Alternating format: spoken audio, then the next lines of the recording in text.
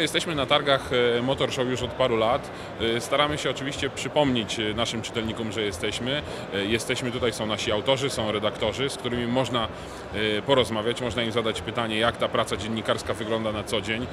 Że to nie jest tylko takie przyjemne jeżdżenie samochodami, ale czasami trzeba zarwać nockę, jechać po samochód, jechać na sesję zdjęciową. No i trzeba jednak trochę wiedzy mieć, żeby ten samochód gdzieś osadzić w realiach, czy to w segmencie, czy w odróżnieniu do innych samochodów konkurencji.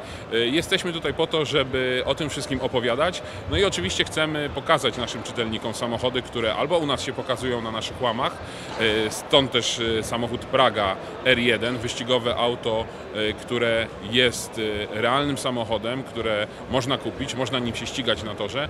Co nas szczególnie cieszy, jest też wersja drogowa tego auta, o której niebawem pewnie będziemy pisać na naszych łamach.